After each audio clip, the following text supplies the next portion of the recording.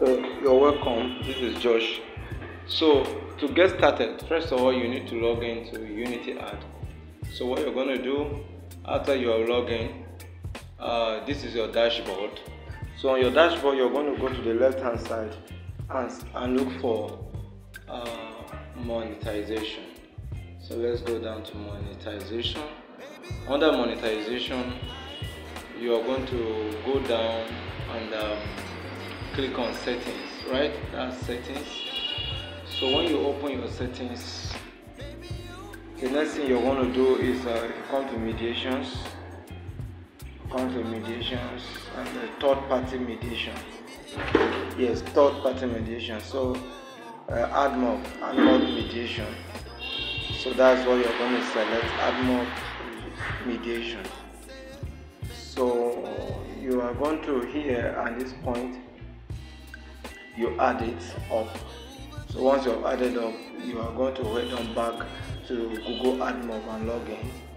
When you log in select your app and then go to mediation. So you're going to select the, the game or the app. Click on mediation create mediation. So you're going to select android if you want to android and then select banner or whatever you want to start with. Well here we're starting with interstitial ad so you're going to click on add unit. So right here you want to select your app. So I've selected my app. So your main ad is what you're going to select here. Once I've done one once I'm done selecting this I'll click on next. So here you're going to come under waterfall and you will select your your source your uh, source ad source so we're going to search for unity ads and that is it. So select set your amount as 0.01 dollar and then confirm. So like you can see we have confirmed as you can see. So here you're going we are going to go back to unity ads and copy the app id that is our idea is a game so we're going to copy the app id from here and then we'll go back there and paste it. So we'll come back to placement. Under placement we'll also copy copy the placement select placement. And then the placement id uh, select this. So once you've selected. We'll go back and paste it. And then we'll click on done next we are going to add uh, banner id this time around after we have done. We have done we have done with uh, interstitial so we're going to do banner id